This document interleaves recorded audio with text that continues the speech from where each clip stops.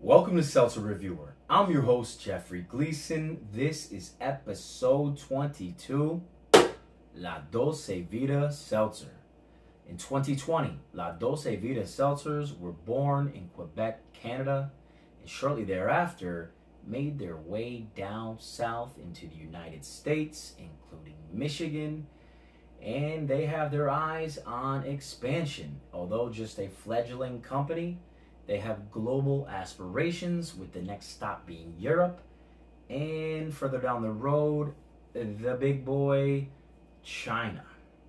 I've had my La Dolce Vita seltzers chilling in the Honeywell at a frosty 35 degrees because you've got to keep your gold cold.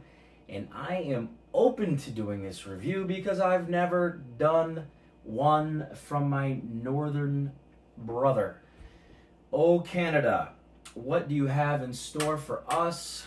We will find out. Uh, let's start with a little uh, information on what the company is. They are a Italian cocktail inspired seltzer brand with only three flavors at the moment, but there are plans in the very near future of adding new flavors. So that sounds good to me if it tastes good to me. So uh, let's get into the uh, nutrition facts because there's not much about the ingredients. Uh, maybe they do things differently up north. Well, of course they do. It's Canada.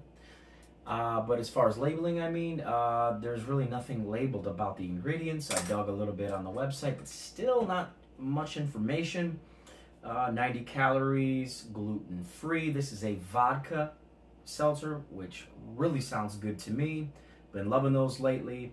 Uh, definitely do prefer it over the those uh, cheaper uh, malt uh, seltzers. Uh, three grams carbohydrates. They say La Dolce Vita, the Good Life, or maybe the Sweet Life. and the first flavor, Il Cosmo or cranberry. let's get started.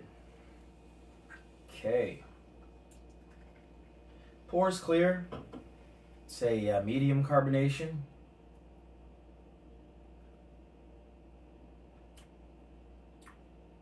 Little surprise there.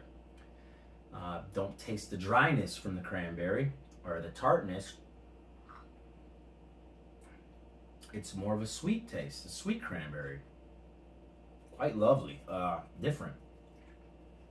Gotta go back and try that again and give it a fair score there. A right score, just score.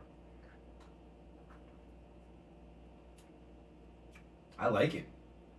Um, like it a lot, actually. Uh, cranberry, I'm going to go 7.5. I like it a lot. Okay, good start. La Dolce Vita. This is La Limonada or Lemon Lime. Okay, and I like the cans. The packaging is a bit busy. That's a small critique there.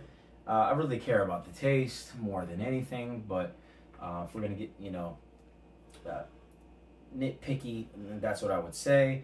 Here we go, pours clear as well. Oh yeah, this is crisp, refreshing. Basically, mm, an alcoholic Sprite, uh, very balanced, citrusy, sweet, not a tart, not a sour, kind of flavor that you might expect. That's fine by me. Uh, wow, natural lemon and lime flavor. Really like this one. Okay, Canada. Alrighty. And you know, without even trying them, but just eyeing them, um, I like the flavor flavors that they have, or even the flavor pairings, because there is uh, you know a few here, two here, lemon lime. Uh, and I don't want to jump ahead, but ruby grapefruit with blood orange. Uh, really kind of wowing me here. Uh, I haven't heard about these. I haven't seen anyone drinking them. I haven't seen an advertisement. I just picked them up off the shelf. Okay, 8.0. That's quite strong. One more left.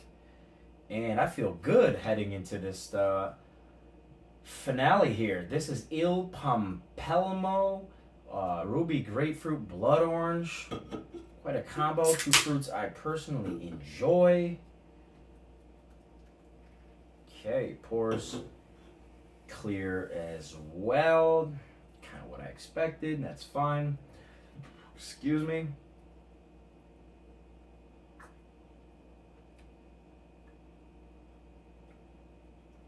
You get a little bit of that floral taste from the blood orange. It's not bitter at all. It's a it's a sweet grapefruit. Ruby red is sweeter typically. Oh man. Really nice. Perfectly paired together. Those fruits uh, are a match made in Total Wine. No, a match made in a can. That man. Okay, uh, that's my favorite one. Uh, pleasantly, pleasantly surprised. Eight point two. Okay, uh, sure. Look forward to more flavors coming from this company. I hope people buy this product so that the American stores continue to stock it. So uh, let me type these in, get an average here. Okay, final score for La Dolce Vita Seltzer. 7.9. Bravo. Well done. Like, share, subscribe.